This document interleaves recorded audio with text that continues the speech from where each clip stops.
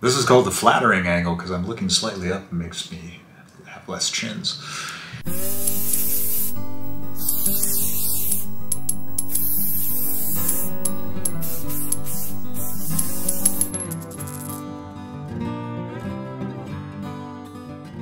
Hey guys, welcome back to Broke Overland. My name is Chad, and as you can tell by the sound,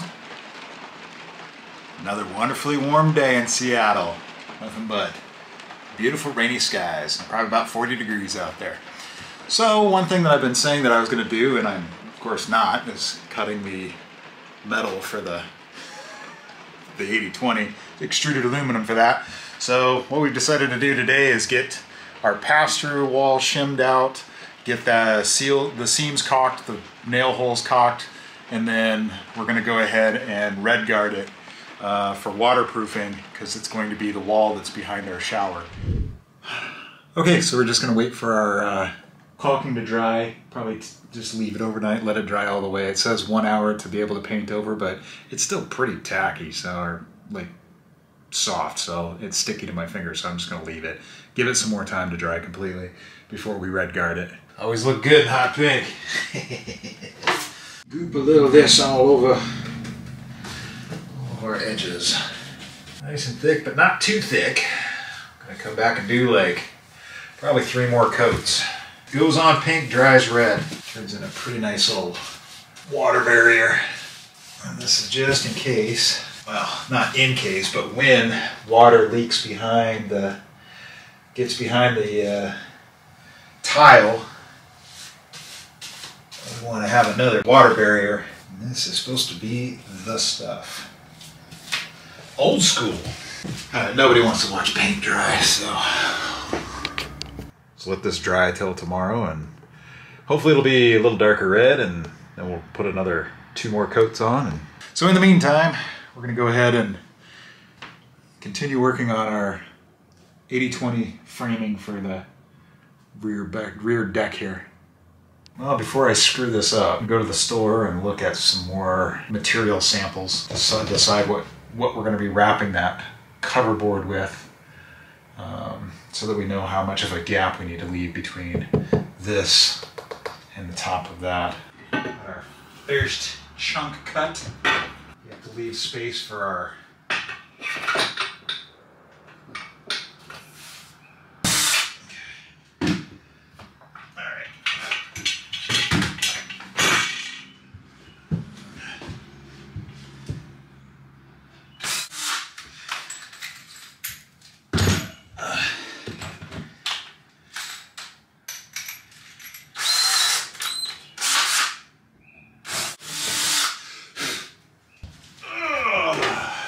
Where's my thread cutting oil?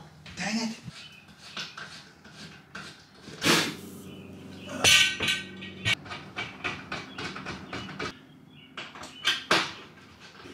Okay, now we come over to this side and go, hmm, that looks crooked. Actually, it doesn't look crooked, it looks fine. Okay, so this is the problem. So Here's roughly, I just got a couple of towels wrapped around a piece of aluminum uh, to represent the thickness of what our um, vinyl wrap is going to look like or going to be. But so when we slide that in to the, the back, we're going to see the top of this piece of plywood.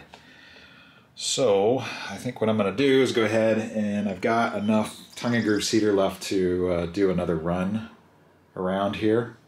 So I'm going to pull these three pieces of plywood out and do another line of cedar around there just to bring it down. I was kind of, I didn't want to screw through the tongue groove cedar, but now since I'm going, the way that I've got this bracketed is I'm going into the steel of the truck, so I'm not going to have to worry about having any kind of like weight compression issues with the cedar. So, well, let's get these boards pulled off of here and replace them. Dang. All right. Well, we got that trimmed down. Boards back up. So we're waiting for the uh, other pieces to dry. So we got our cut off piece to show how this is going to scooch in and then bloop, be perfect. And then that way, when we're sitting on here with our, our piece, no matter how far it rolls over, we don't have to worry about seeing the edge of this stupid plywood. That was a bonehead maneuver. Oh well. And now we actually have some boards in there. Put the, uh, drill the holes back in that side and get our back support up. And there we go. Another week of what looks like we did nothing. But what did we actually do? we got our seat back put in. We got uh, the lower panels cut down. Got our new pieces of tongue and groove cedar put in. And then we also got our membrane paint put up. That took about a week of adding a couple of coats, letting it dry overnight, adding a couple more coats and letting it dry overnight. There's a gallon of RedGard on that wall. So if we do get water behind our vinyl uh, tiles, then they should not, the water should at least run to the bottom and come out underneath. So not suck into the wood. Anyways, hope you enjoyed this video. If you did, give it a thumbs up. If you're new here, I'd love to have you a subscriber. Go ahead and click that subscribe button down below. We'll catch you in the next one.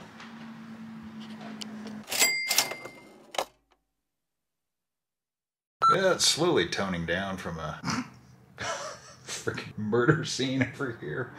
Ugh.